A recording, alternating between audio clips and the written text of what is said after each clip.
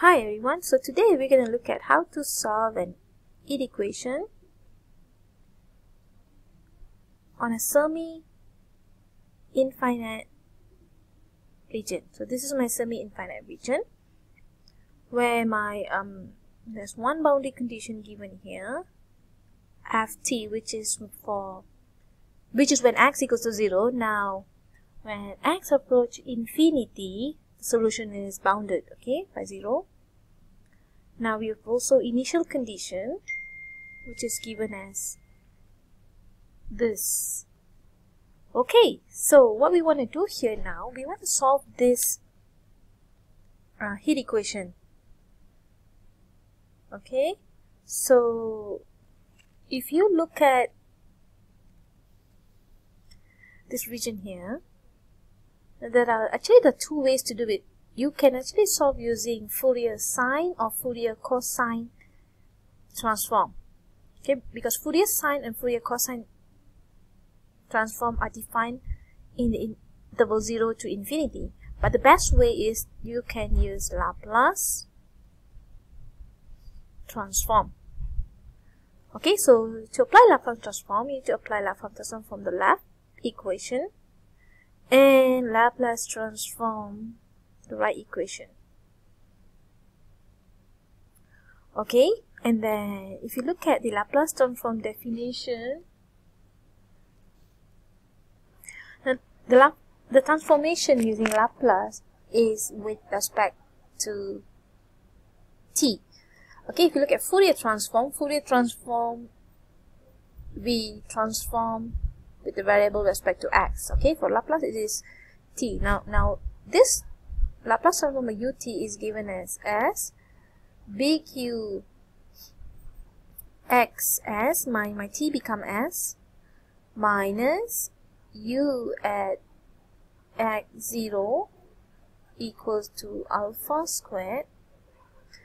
So the u term is no effect, but it will be big U x s x s. Okay now what we do here we see that this is 0 from the definition. Okay now we have s bq s x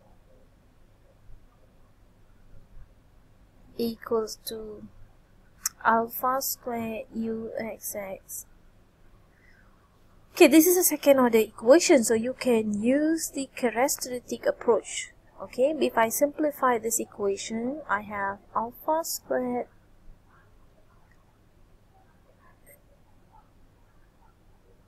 minus s bqx x equals to 0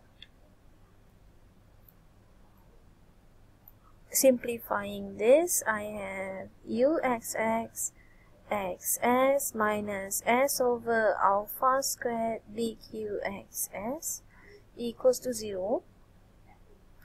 Now, um, this is, you need to find the characteristic equation for the second order here. So this will give me the solution where um, m squared, the characteristic equation,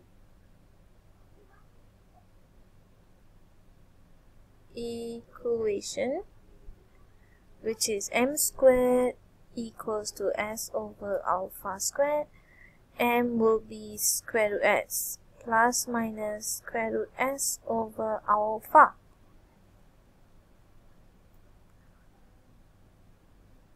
Okay so this will give me the general solution for this big U given by a s e square root s over alpha x plus b s e negative square root s over alpha x. Okay, which is good. Now, if we look at the condition, the first condition here, okay, we know that when x approach 0, okay, so let's, let's, let's look at all the uh, the boundary condition given. So the boundary condition, we have u of 0 t equals to f t. Okay, So the Laplace of u0t equals to Laplace of ft. Okay, now this one will give me big U 0s. Now this one here will give me big S. Okay, this is one condition here. This is the one condition. Now we look at the interval given from 0 to infinity.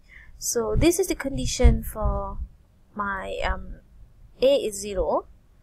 Now when when x approach infinity, so when my x approach infinity, what happens to this equation? Let's look at this equation first. We have x approach infinity. I have I have a as e infinity plus b as e negative infinity. Now we can see that this term here approach 0 quickly.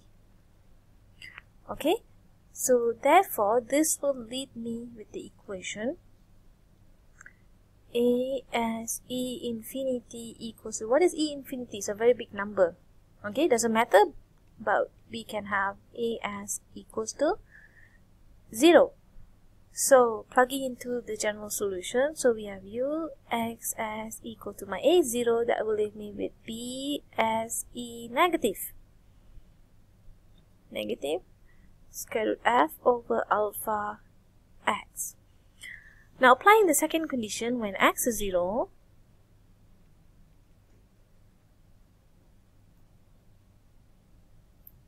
so we have u0s equals to f, big Fs. So I have bs, now when x is 0, e to the power 0 is 1. Therefore, my bs equals to fx. So this gives my solution ux x equals to big F s e square root s over alpha x. Okay, so this is my general solution obtained. Now this is not done because we want to find the solution of uxt. So what I need to do is into Laplace inverse of uxs that will give me Laplace inverse of fs Laplace inverse of e negative square root f over alpha x now this is actually the convolution. You can use the convolution theorem, but before we do that, let, let's find, let's look at here again. So the inverse of this is my u xt, and the inverse of me, this one is my ft. Now we need to find the inverse of this. Okay, let's call this my gt. Okay, this is my gt.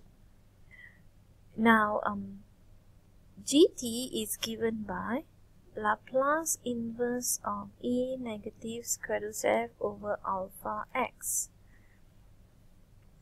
Now we we know that we know that Laplace of uh, from the Laplace table or the Laplace definition, but it is um, easier for us to use the table here.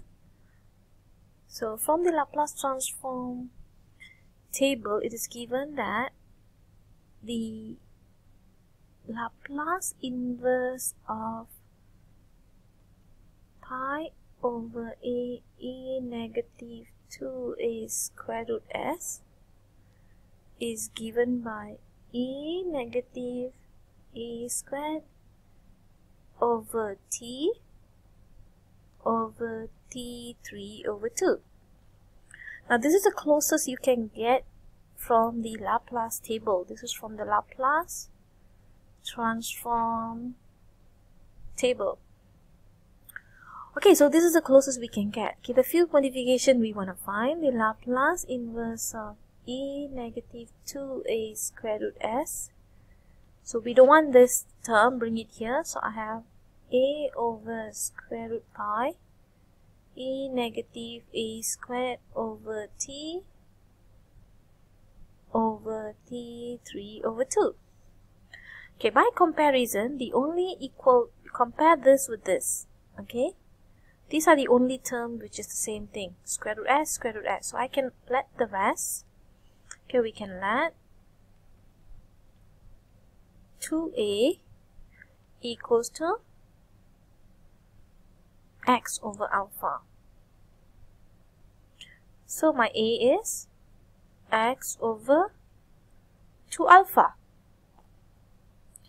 Okay, now substitute into this equation here. Let's call this equation a star. So I have Laplace inverse E negative, which is A is my x over 2 alpha square root s. This will give me my A is x over 2 alpha square root pi E negative A squared, which is x over 2 alpha squared over t okay over t over t 3 over 2 okay so simplifying this we have e negative square root s x over 2 alpha look at this is the same equation that we want to get.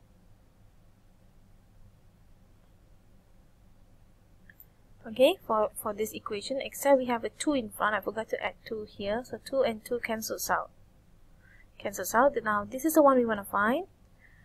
Now, simplifying this will give me x over 2 alpha pi a negative x squared over 4 alpha squared t over t 3 over 2.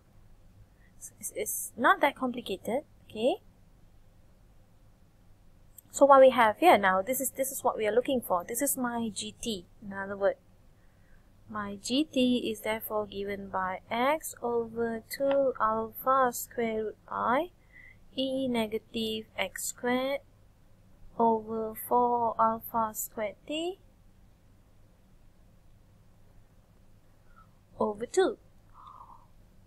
Okay, so therefore what we have here, we have uxt equals to ft multiply with my gt.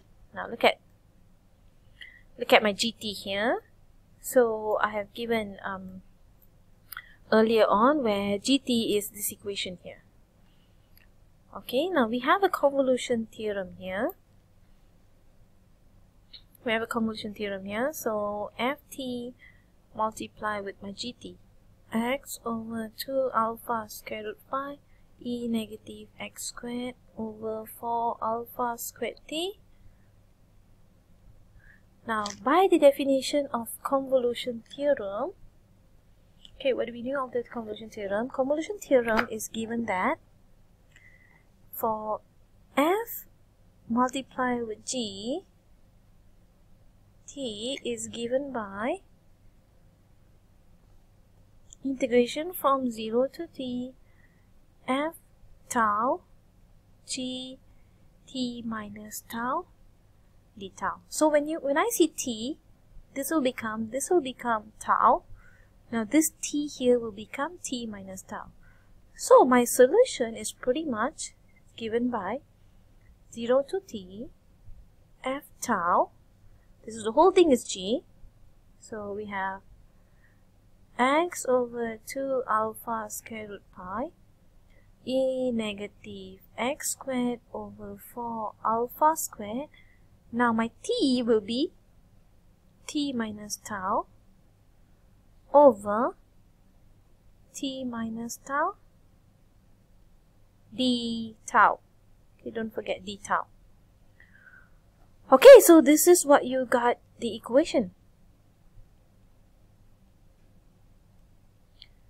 0 to t f tau e negative x squared over 4 alpha squared t minus tau